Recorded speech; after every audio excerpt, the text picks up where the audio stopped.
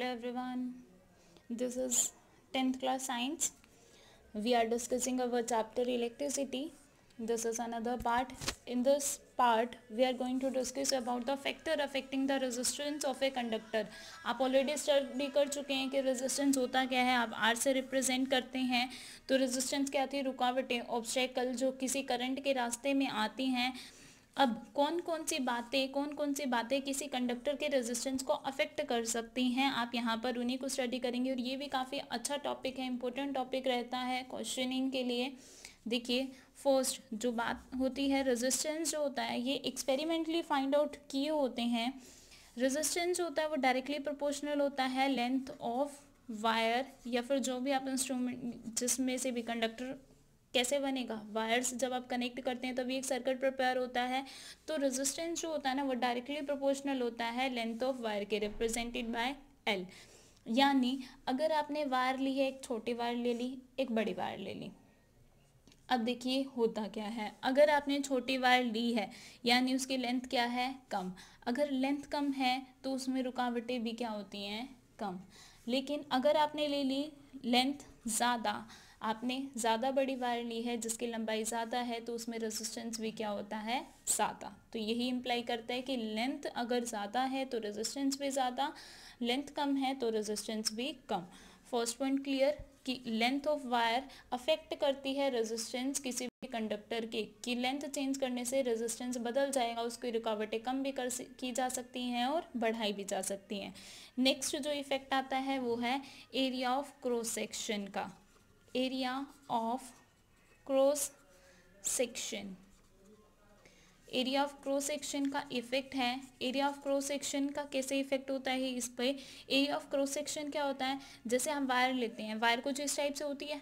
Straight लेकिन side में उसका सर्कुलर आप चाहे कितनी भी पतली वायर लेंगे तो भी इसका सर्कुलर कुछ ना कुछ पोर्शन रहता है ना, इसे कहा जाता है। जो ये सर्कुलर पोर्शन है वायर का एंड पर, इन्हें कहा जाता है क्रॉस सेक्शन ये उसका क्रॉस सेक्शन पॉइंट है। तो इस वाले का एरिया डिपेंड करता है। और ये हमें क्या बताता है? तार की वायर की मोटाई। यानी एरिया ऑफ़ क्रॉस सेक्शन कहें या फिर हम इसे कह दें कि थिकनेस ऑफ़ वायर वायर की थिकनेस अब ये कैसे डिपेंड करता है? ये रेजिस्टेंस जो होता है, वो इन्वर्सली प्रोपोर्शनल होता है एरिया ऑफ़ क्रॉस सेक्शन के। इसका मतलब एरिया ऑफ़ क्रॉस सेक्शन अगर ज़्यादा होगा तो रेजिस्टेंस कम। एरिया ऑफ़ क्रॉस सेक्शन ज़्यादा का मतलब थिकनेस ज़्यादा। अगर तार मोटी है, तार मोटी है, अगर बहुत ज़्यादा मोटी है तो रेजिस्टेंस उसमें क्या होगा? कम। मोटी वायर में रेजिस्टेंस कम होता है। लेंथ आप सेम रख रहे हैं। अगर उसमें आपने मोटाई ज़्यादा ली है तो रेजिस्टेंस कम, अगर आप मोटाई को कर देते हैं कम तो रेजिस्टेंस क्या हो जाएगा? ज़्यादा इन्वर्सली प्रोपोर्शनल होता है। आई होप ये भी अच्छे से समझ आया होगा। अब इन दोनों को कंबाइन करके एक लॉ सिंपली बना दिया जाए कि आर क्या था? डायरेक्टली तो था एल के और यूनिवर्सली है। ए के। तो आप इसे इस टाइप से राइट कर सकते हैं कि आर डायरेक्टली होता है एल के और इनवर्सली होता है ए के। और प्रोपोर्शनैलिटी का साइन जब भी हटाते हैं तो क्या आ जाता है कॉन्स्टेंट यहाँ जो कॉन्स्टेंट इंट्रोड्यूस हुआ वो है रो इसे कहते हैं रो रो रो एल अपोन में ए ये रो है क्या? इसका नेम दिया है रजिस्ट्रिविटी रजिस्ट्रिविटी रजिस्ट्रिविटी यानी और इसका अनदर नेम है कि ये कांस्टेंट है एक कांस्टेंट हो गया ना कांस्टेंट ऑफ़ रेजिस्टिविटी कह दिया जाता है कांस्टेंट ऑफ़ रेजिस्टेंस कहा जाता है, ये सिंपली रेजिस्टिविटी भी कह देते हैं हम इसे। R is equals to rho L upon में ए तो अब इसी का यूज़ करना है, और रो किस बात पे डिपेंड करता है? रो है क्या? ये हमें क्या बताता है? रो हमें बताता है रो डिपेंड करता है किसी भी नेचर पे, जो हम मटेरियल या मेटल ले रहे हैं ना वायर बनाने के लिए, उसके नेचर पे डिपेंड करती है रो की वैल्यू जैसे, अगर आपको बता दिया जाए कि रो की वैल्यू किसी के लिए है, जैसे कोई एग्जांपल ले लेते हैं हम सिल्वर। सिल्वर है, जिसके लिए रो की वैल्यू है 1.6 point six into ten is to power minus eight ohm metre और कॉपर वायर के लिए है रेजिस्टिविटी की वैल्यू, रो की वैल्यू 1.69 अच्छा रेजिस्टिविटी का, जैसे रेजिस्टेंस का ऐसा यूनिट क्या था? ओम रेजिस्टिविटी का होता है ohm metre 1.69 point six nine into में ten is to power minus eight ohm metre अब देखिए रेजिस्टिविटी इसकी कम है, इसकी ज़्यादा है? पावर वाली सेम यूनिट है। इनमें से किसकी है? इसकी कम है और इसकी ज़्यादा है। कॉपर की ज़्यादा है और इसकी कम है। इन दोनों में अगर कंपैरिजन करते हैं तो। अब इनमें से अच्छा वायर अच्छी जो वायरिंग बनेगी, वो किसकी बनेगी? जिसकी रजिस्टिविटी की वैल्यू यहाँ आप डायरेक्टली प्रोपोर्शनल के साइन से रजिस्टिविटी इसकी ज़्यादा है, इसकी कम है। रजिस्टिविटी यहाँ के सिंबल से आप देखिए रजिस्टिविटी क्या लग रहा है आपको? आर के डायरेक्टली प्रोपोर्शनल है, दोनों ऊपर हैं। डायरेक्टली हो गया ना, यानी जितनी रजिस्टिविटी ज़्यादा होगी ना, उतनी ही रुकावटें भी ज़्यादा हो जाएँगी। तो रजिस्टिविटी इसकी ज़्यादा है तो रुकावटें इसमें ज़्यादा आएँगी और करंट क्या आ जाएगा इसमें? रजिस्टिविटी इसकी ज़्यादा है रेजिस्टेंस इसमें ज़्यादा हो गया रेजिस्टेंस ज़्यादा है तो करंट क्या हो जाएगा? कम। जबकि इसमें क्या है रेजिस्टिविटी कम तो रेजिस्टेंस भी कम, रुकावटें कम करंट ज़्यादा। तो इस दोनों का कंपैरिजन अगर देखेंगे तो करंट इसमें से ज़्यादा है, यानी ये ज़्यादा अच्छा कंडक्टर है। इसके कंपैरिजन में ये कम है, लेकिन ये भी बहुत अच्छा कंडक्टर है। लेकिन कंपैरिजन हमेशा कैसे किया जाता है? रेजिस्टिविटी की वैल्यू से। किसी भी मेटल की रेजिस्टिविटी वैल्यू फिक्स होती है, आप रेजिस्टिविटी की वैल्यू देख के अगर रेजिस्टिविटी ज़्यादा है तो करंट कम हो जाएगा। करंट कम मतलब वो अच्छा कंडक्टर नहीं है। तो आप इससे बता सकते हैं तो रेजिस्टिविटी काफ़ी इंपॉर्टेंट होता है। किसी भी बताने के लिए कि कौन अच्छा कंडक्टर है और कौन नहीं है।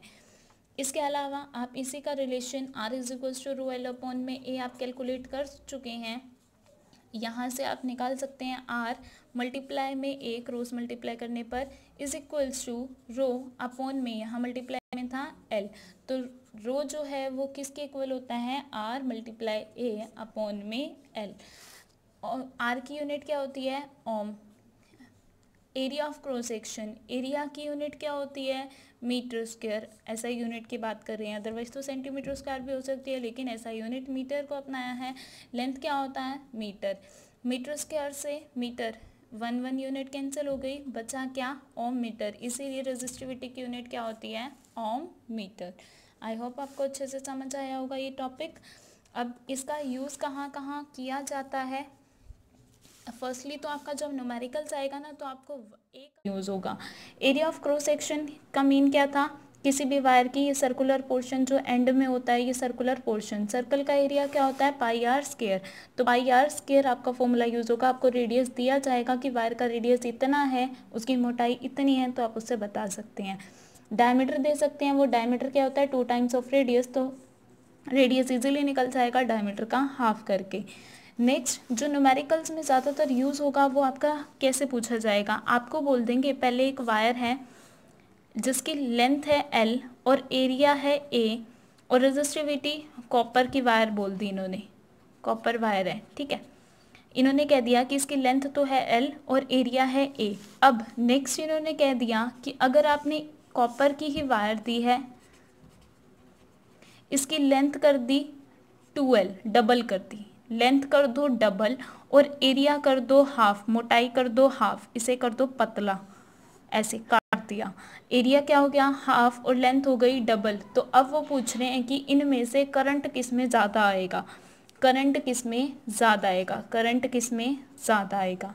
अब देखो, करंट निकालना है, लेकिन दिया क्या हुआ है? एरिया और लेंथ। एरिया और लेंथ क्या फाइंड आउट करने के काम आता है? रेजिस्टेंस पहले वाले का रेजिस्टेंस कैलकुलेट करते हैं। रेजिस्टेंस क्या होता है? रो एल अपॉन में ए कॉपर की वायर पहले थी। कॉपर की वायर बाद में है। तो रेजिस्टेंस की वैल्यू तो क्या आ गई? रेजिस्टिविटी फिक्स हो गई। तो आर रो की वैल्यू पहले भी रो ही थी, क्योंकि एक फिक्स वैल्यू है और बाद में भी रो तो सेम रही, इसीलिए रो ही रखा। आपको वैल्यू लर्न करने की नीड नहीं पड़ती।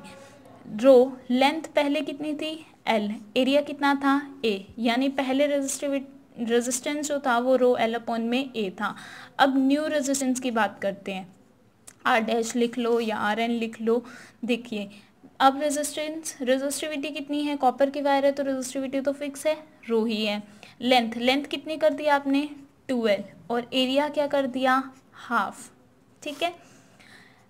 Two L rho A upon में टू, जो कि ऊपर चला जाएगा, कितना आया? फोर, रो एल अपॉन में ए।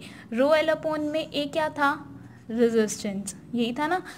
पहले वाला रेजिस्टेंस था, यानी न्यू रेजिस्टेंस क्या हो गया? न्यू रेजिस्टेंस जो है, वो हमारा फोर टाइम्स ओल्ड रेजिस्टेंस के इक्वल है।